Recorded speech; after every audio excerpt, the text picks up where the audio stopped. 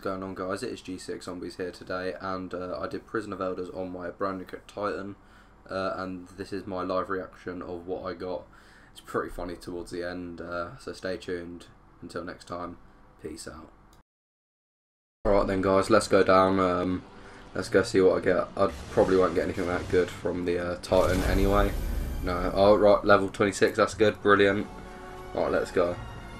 I'll open the side chest first what I get heavy ammo synth 2 mote of light and then I get special sent for much mote of light. Oh yes! Yes! Get in! Oh my god! Yes I got the icebreaker! Oh my god! One gun I really wanted. Oh I don't care about the strange coins oh my god! Oh my god!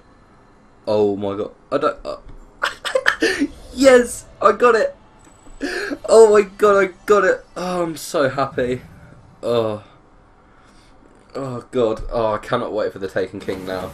Bring it on. Oh, cannot wait. Right, okay.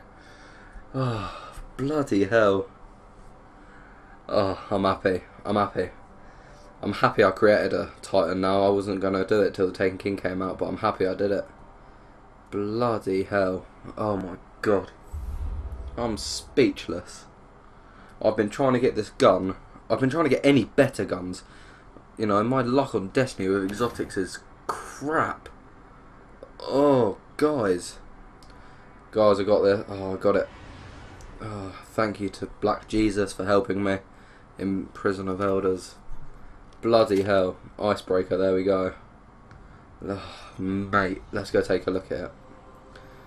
Oh, right. Look at that, why?